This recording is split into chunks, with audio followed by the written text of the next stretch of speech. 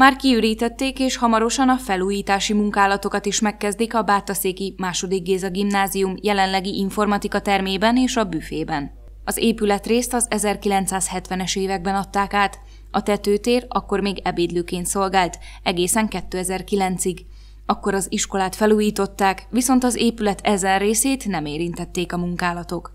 A helyreállítás után a tetőtérben egy informatika termet és egy büfét alakítottak ki.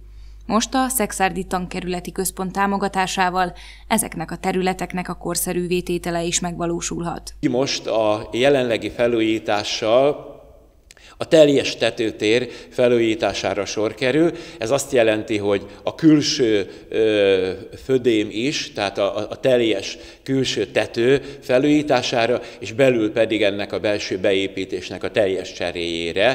A Szexárdi Tankerületi Központ igazgatója azt mondja, a hozzájuk tartozó intézmények karbantartásán kívül igyekeznek minden évben fejlesztéseket is végrehajtani. A tankerti központunk 70 épületet működtet, ezeknek az épületeknek a karbantartása az év során folyamatosan történik. És hát ahogy lehetőségünk van, akkor nagyobb mértékű felújításokra, beruházásokra is sor kerülhet. Na, ennek a beruházás sorozatnak a része a Bátaszéki Gimnázium tetejének egy részének a felújítása. A felújítás során nem csak a tetőt és az ablakokat cserélik majd ki, hanem szigetelést is kap az épület szárny.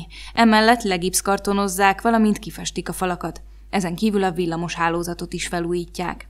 Gerzsei Péter úgy fogalmaz, egy megújult, modernebb környezetbe térhetnek majd vissza a diákok a digitális oktatásból.